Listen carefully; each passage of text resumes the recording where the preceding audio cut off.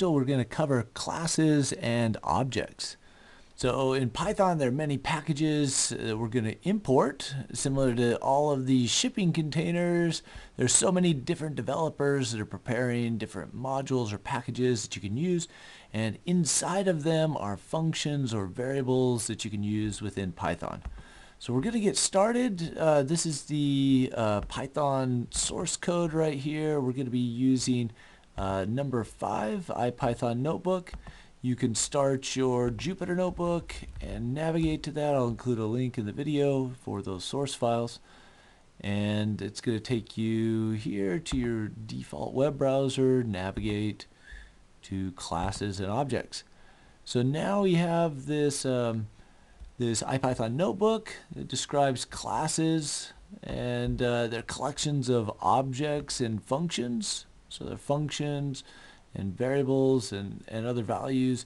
Uh, many Python packages such as Time, tclab, NumPy, SciPy, Gekko, and others are distributed as classes.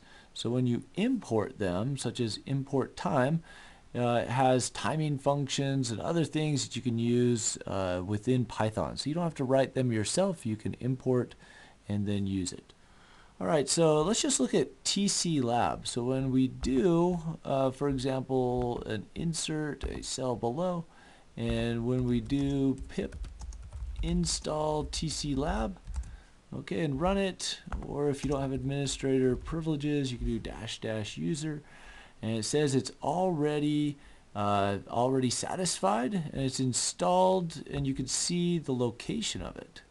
Alright, so I'm just going to copy that and then open up uh, a file folder and hit enter. Now let's just go find that. Here are many of the packages that are already installed and we're going to go down to TC Lab. Alright, so ooh, it went too far. Okay, uh, let's just look for the TC Lab folder and here it is, TC Lab.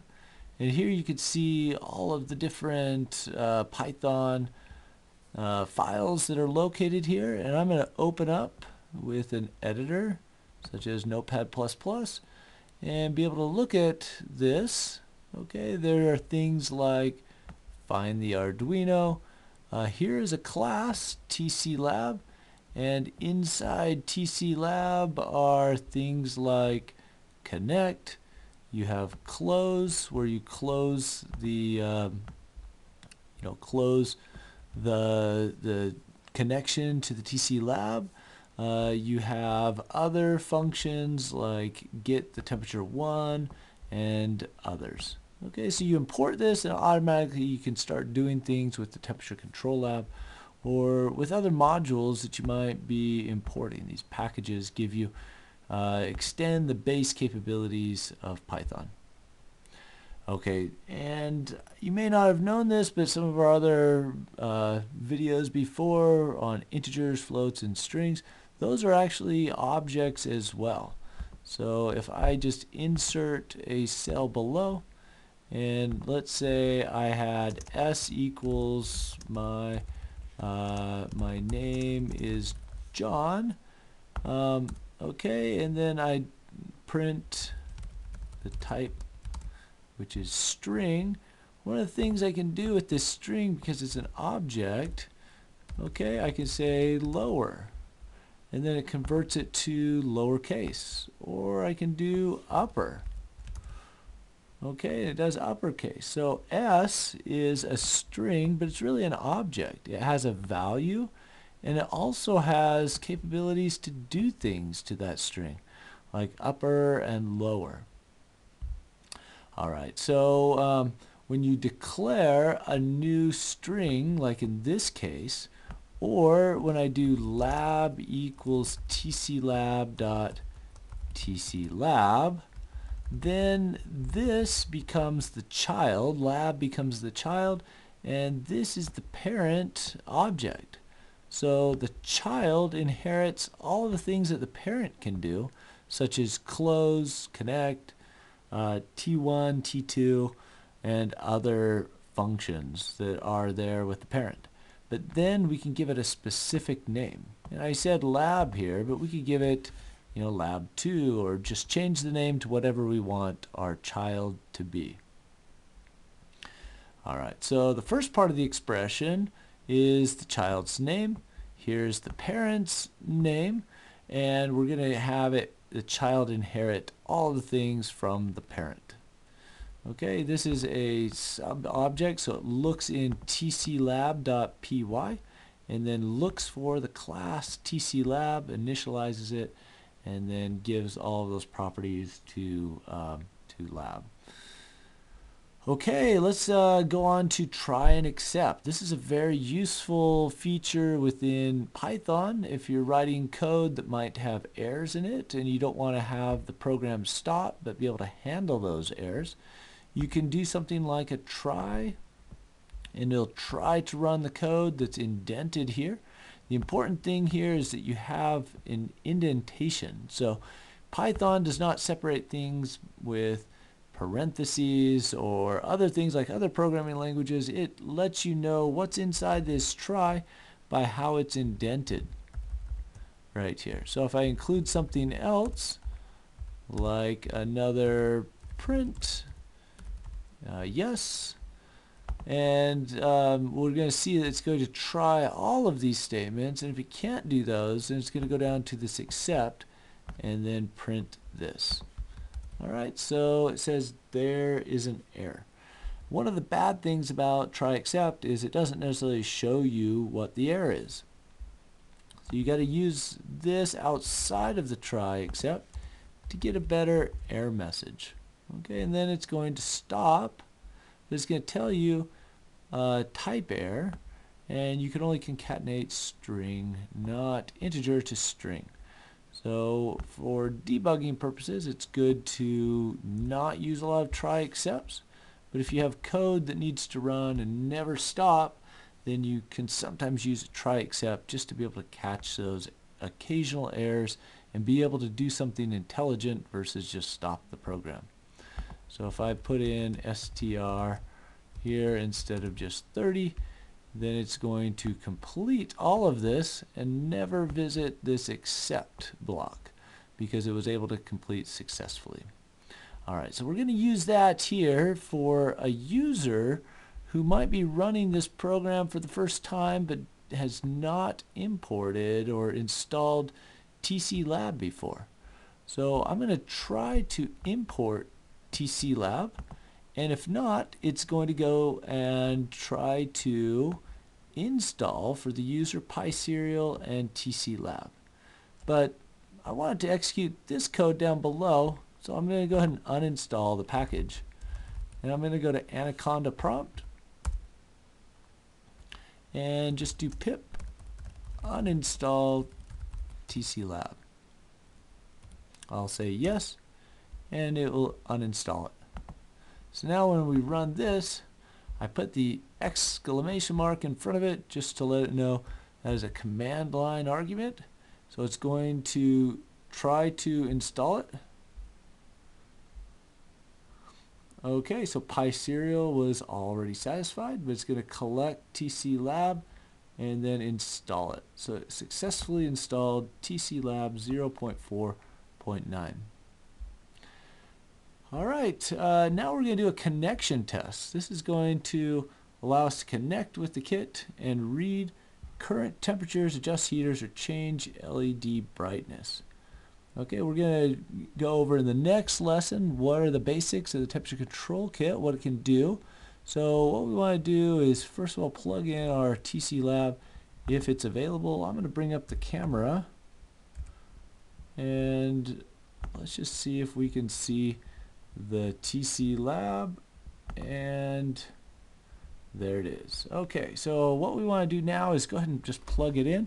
I have the USB connection here the, to the computer and what I'll do is just go ahead and plug in the USB connection right here and then plug that into my computer.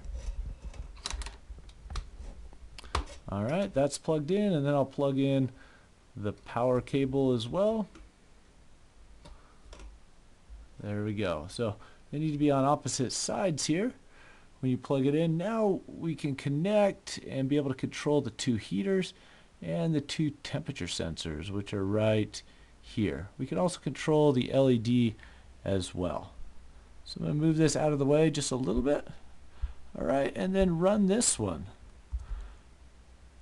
All right, it's just going to connect and then it will close it. All right, so that was successful. Everything was working. If you just installed this for the first time, you may need to go to kernel and then just restart the kernel. If there's any problem with, if you just installed a package for the first time, you sometimes need to restart the kernel. So I'm just going to run that one more time. There we go. Okay, so kernel is restarted. Okay, so here's the activity. We're going to connect the blue USB cable and plug in the white power cable to the power adapter. We'll run the TC Lab exercise below that imports and tests TC Lab functions. We'll modify the name of the object from lab to incubator and add comments to the code. All these functions are covered in the next one, which is six functions. And again, don't worry if you don't understand each step of the program yet.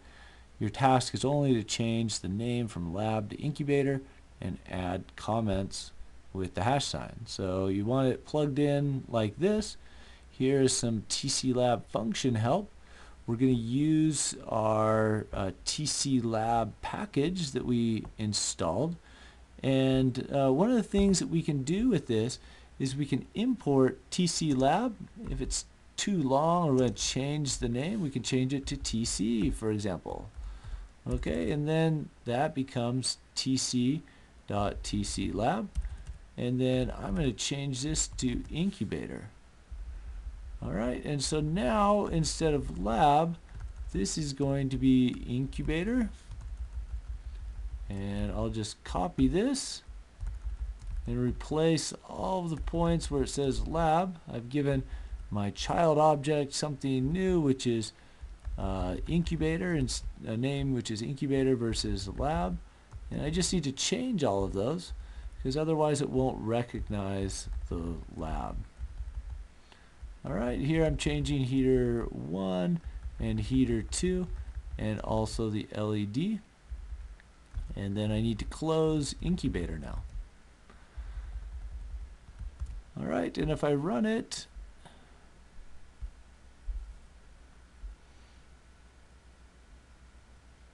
Okay, it's going to run for 21 seconds. Now this is the first time you may have seen a for loop. I'm going to run for uh, 20, 20 seconds. Basically it's going to run through this loop 20 times uh, starting at 0 and then it's going to go up to 20 and you can see each time it printed out uh, it printed out the time and the T1 and the T2. Now you can see that the temperature was rising a little bit there. Let's just turn up the heaters just a little bit more. I'm going to put those at 100% instead of um, instead of 50. Okay, just see if we can get a little bit more output on the heaters and you're going to see this uh, turn on and it's going to be uh, sending power to this uh, you can see this blinking a little bit. Let's see if I can show you. Every time it's communicating over those serial interfaces, you'll see those LEDs below blink, and you'll see that it's uh, it's also printing out on the lines below.